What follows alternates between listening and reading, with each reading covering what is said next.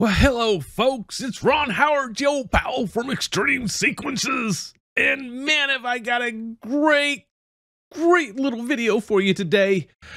Oh, today is my distraction day. Because it's a holiday, I was distracted with a lot of things, so I opened up xLights a little bit later. Needed a little break, just a little break.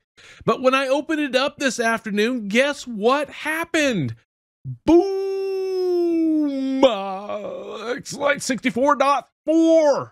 Oh, 2021 is proving to be a monumental improvement in all things xLights. I'll tell you what. While the rest of the world is taking a big poo-poo, xLights continues to strive forward and make great sequencing for everyone possible. Because it just keeps getting better. Are you ready for this? Are you ready for this long-winded intro on just what I'm going to talk about? Oh, well, let's take a look, shall we? Shall we, shall we, shall we? First thing I'm going to do is go in here and go to the release notes so I can show you what I'm really excited about. And uh, look one level deep for missing files. That's kind of cool. I'm not sure what that means, but I'll find out. Uh, fix warp effect. That's always a good thing. Fix issues with model handle size. That's always a good thing. Dan Kulp getting it done again. Fix dirty ranges not detected correctly on nodes, strands, and submodels. Okay, that's cool. Cool. Uh, David Preem did the address preset preview size issue. Not sure. I'm gonna have to look into that. But what really got me excited was this right here. When exporting models, let user decide groups to include. I said, Scott, Scott, Scott Hanson, my man, you get the prize of the month award. I don't know, somebody send him over some turkey, somebody send him a prize, a trophy, anything. I don't care. Send that man something because this is huge. If you are into the high density craze, like the rest of us, then this will be important to you. So please pay attention. All right, so let's put this to the test. Let's look at squared peg. And why don't we just tell this we want to export the xLights model. And we'll put that on the desktop. There we go. And a dialog box open. Used to, it would just go there and nothing else would happen. But now we can actually choose the submodel groups that go with this to include them. So let's go over here, and I think I called this GE blah, blah, blah, squared. Oh, look, they're already selected for me. How did that happen? It's like magic. I didn't select them. Oh, let's just make sure we don't have anything else. Oh, it looks good. And we click OK. And now they're on the desktop right here. Move you out of the way. So now we can go to another instance of xLights and let's bring these in. Let's click on the import button and click on GE squared, click open. Holy, what in the world just happened? Look at that. Look, look. It put all the submodels and the groups on here. Oh, I am so, so happy. I want my mommy. Oh, this is good stuff. Really good stuff. Now you're probably asking, well, Ron, uh, look, bud, that's really cool. That's really cool. Hit the save. Hit the save. It's red. Uh, but but I have two of these. Okay, not a problem. Just import again. Follow the same steps. GE squared. Boom. Model contains model groups that already exist. Would you like to add this model to the existing groups?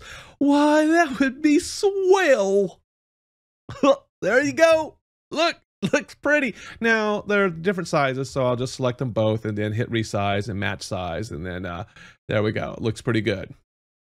So let's verify. Uh-oh, oh, oh, oh, hold on.